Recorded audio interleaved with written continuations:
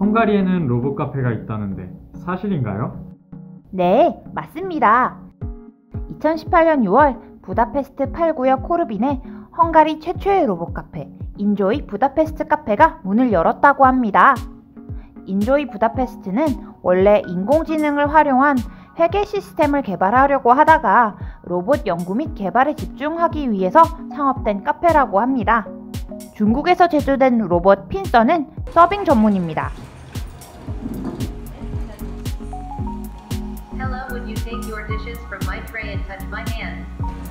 일본에서 제작된 로봇 페퍼는 오락 전문입니다. 요청에 따라 음악을 재생하고 자동차 엔진 소리를 흉내낸다고 해요.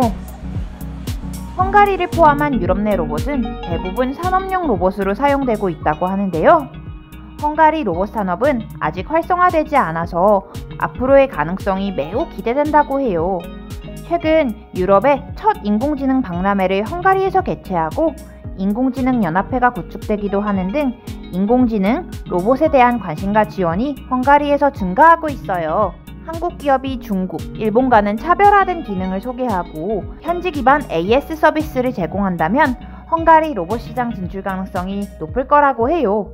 차별화된 제품과 확실한 AS 서비스만 구축으로 헝가리 로봇 시장에서 한국 로봇의 힘을 보여주는 것은 어떨까요?